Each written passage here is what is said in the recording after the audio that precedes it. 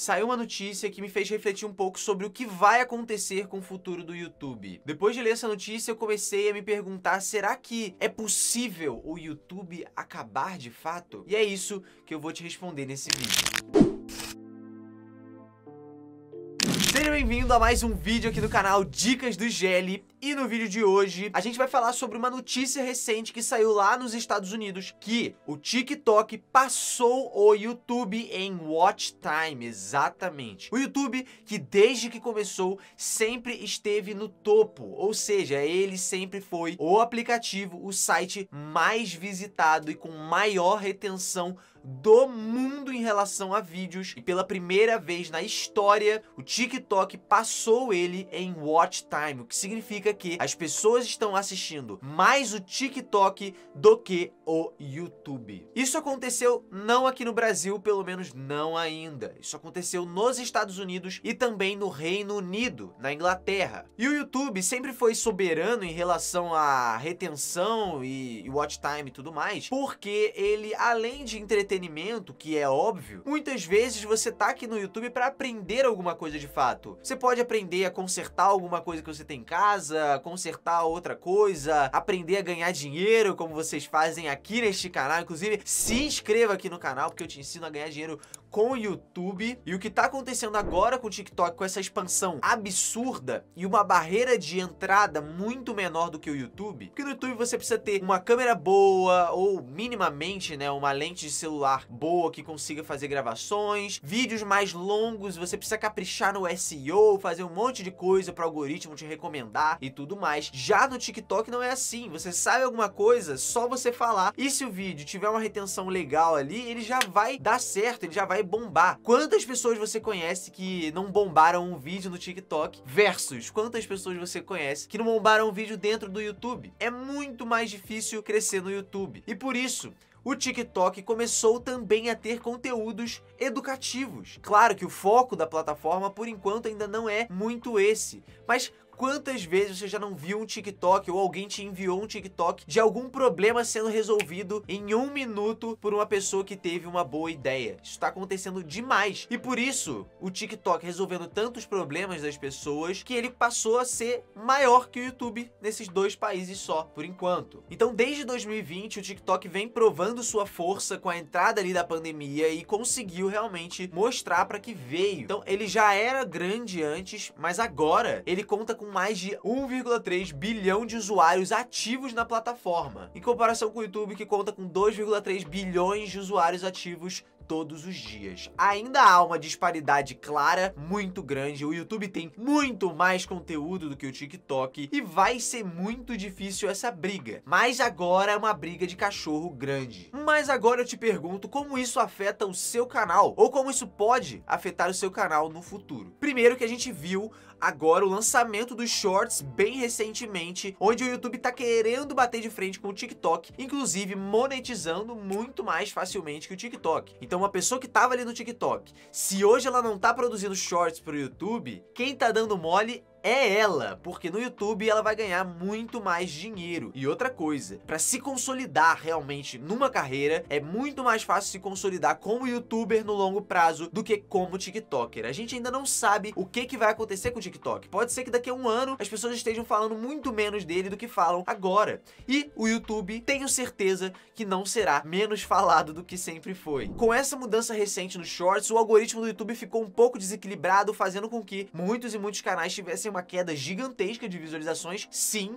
mas isso não se deve ainda ao TikTok. Isso se deve, na verdade, à desestabilização da aba Shorts dentro do YouTube, que fez com que muita gente entrasse na aba Shorts e saísse dos vídeos recomendados da plataforma. Então é ruim porque quem faz vídeos longos parou de ser tão recomendado, porque na verdade as pessoas estão assistindo menos vídeos longos e assistindo mais shorts. Mas ainda não houve uma queda gigante por causa do TikTok especificamente. Com isso, eu acredito que sim, no longo prazo o YouTube vai conseguir equilibrar essas duas coisas para os dois lados ficarem bem, então tanto pessoas que fazem shorts quanto pessoas que fazem vídeos longos ficarem bem Mas é aquilo. Se o consumo das pessoas muda, você também precisa ficar atento e entender o que, que as pessoas têm mais assistido dentro do YouTube agora. Eu não tô te falando de maneira nenhuma para você começar a postar shorts loucamente e ficar desesperado com isso. A não ser que seja esse o seu objetivo. Então tá tudo bem. Mas eu não tô dizendo isso. É super possível crescer no YouTube ainda. Ainda existem centenas de milhões de pessoas assistindo o YouTube a cada hora que passa. Tá tudo bem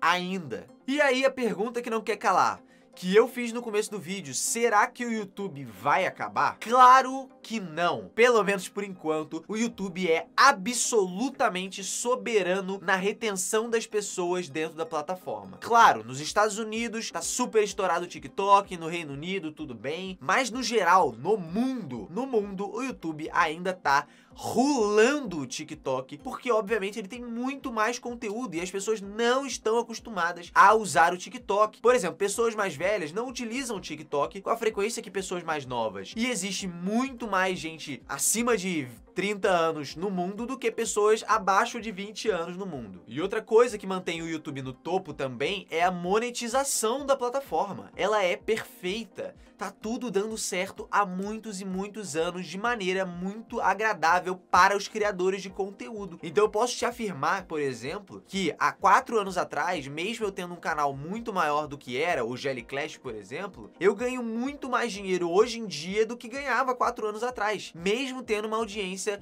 muito menor. Por quê? Porque o YouTube está monetizando muito mais. O YouTube entrega muito dinheiro para os criadores de conteúdo. Diferente do TikTok, pessoas seletas ganham uma parte de dinheiro ali. Mas se você olhar um criador normal de TikTok, esse cara não tá super rico agora. E se for um criador estourado no YouTube, ele fica rico muito rápido muito rápido mesmo. A pessoa passa do zero a ganhar 100 mil reais por mês se ela conseguir mandar bem viralizar vários e vários e vários vídeos dentro do YouTube. Mas se você fizer isso no TikTok, você vai ganhar um total de zero reais. Incrível, né? É exatamente isso. A não ser que você estimule as pessoas a baixarem com seu código e tudo mais, mas não é uma coisa rentável no longo prazo, porque uma hora todo mundo já vai ter o aplicativo no celular. Então não faz sentido você ficar estimulando as pessoas a baixarem, baixarem, baixarem, porque todo mundo já vai ter. O que muito provavelmente vai acontecer e o que acontece em muitos nichos é que a, as duas plataformas vão ficar brigando pelo topo e disputar. Uma hora ou outra o TikTok vai subir, uma hora ou outra o YouTube vai subir e uma hora muito provavelmente o YouTube, eu acredito nisso, tá? Eu acredito muito que na longa distância, na corrida, na maratona da vida, o YouTube vai ganhar, porque tem um time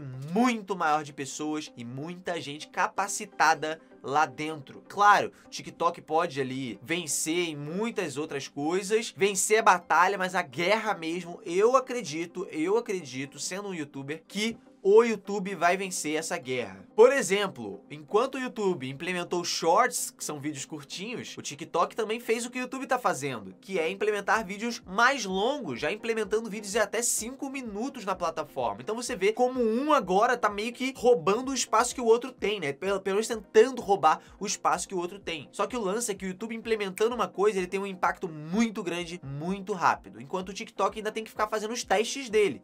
Lógico, tem essa mudança de algoritmo, e a gente tá sofrendo essas quedas todas, mas no longo prazo isso tudo vai se ajeitar como sempre se ajeitou, galera. Tem sete anos que eu tô no YouTube, todo ano tem uma crise de alguma coisa dentro do YouTube e sempre se ajeita. E o meu conselho para você, na verdade, é essa briga não é nossa. Dane-se o YouTube, dane-se o TikTok, faça vídeo pros dois. Se você vê a possibilidade de crescer no TikTok, abraça essa ideia e começa a criar vídeo pro TikTok. Até eu tô pensando em começar a criar vídeo pro TikTok. Eu tenho meu TikTok TikTok, arroba GellyOficial, e lá eu já tenho mais de 800 mil seguidores com 13 vídeos postados. Esse é o potencial do TikTok. O TikTok é absurdo. Você tem muito potencial de crescimento. Então, se você enxerga a possibilidade de postar partes do seu conteúdo lá dentro no TikTok, poste também, que se dane, deixe o YouTube pra lá, entendeu? Não tô falando pra abandonar o YouTube, faça os dois. Dá pra coexistir, tá tudo bem, essa briga não é nossa, galera. Façam o que tem que ser feito pra crescer os seus canais e vai ficar tudo certo no final das contas. Mantenha sua estratégia, não fica pulando de galho em galho. Ah, não, agora eu vou fazer vídeo de um minuto. Ah, não, agora eu vou fazer vídeo de 10 minutos. Não faz isso, tá? Mantenha uma estratégia bem definida. E se você acreditar que o TikTok pode ser uma solução, comece a fazer vídeo pra lá e mantenha os seus vídeos sendo postados normalmente no seu canal. É legal pra atrair público. Funciona muito bem. Muita gente tem feito isso e funciona realmente. É isso aí. Eu espero que você tenha gostado do vídeo e entendido que argumento foi esse que eu usei pra dizer que o YouTube não vai acabar de fato. O longo prazo vai mostrar isso pra gente, mas o YouTube já se provou uma plataforma muito, muito proativa em resolver os seus próprios problemas e com certeza vai encontrar uma solução pra isso que nem a gente tá esperando ainda. E antes de terminar o vídeo, se você quer dar o próximo passo na sua carreira como YouTuber, você pode garantir a vaga para o meu treinamento Profissão YouTuber. É o primeiro link aqui embaixo na descrição e é muito importante você ouvir isso, ó, escuta, é muito importante. Muito em breve, provavelmente eu vou aumentar o preço do Profissão YouTuber, porque eu vou regravar tudo, eu vou transformar o treinamento como se fosse um Profissão YouTuber 2.0 e eu não vou cobrar nada para quem tiver co comprado o curso antes. Não vou cobrar nada. Mas como eu posso aumentar o valor, é melhor garantir sua vaga agora lá dentro. Já tem, sei lá, 15, 16 módulos lá, tudo gravado, mais de 100 aulas, tá tudo lá já. Eu só vou regravar e melhorar o curso absurdamente. E você que estiver lá dentro não vai pagar nada por isso. Portanto, garanta logo a sua vaga, não pensa duas vezes. Primeiro link aqui embaixo na descrição e lá na página tá escrito tudo que você vai ter acesso dentro do treinamento, inclusive alguns segredos especiais que já estão lá dentro do treinamento também. É isso aí, nos vemos no próximo vídeo. Tchau!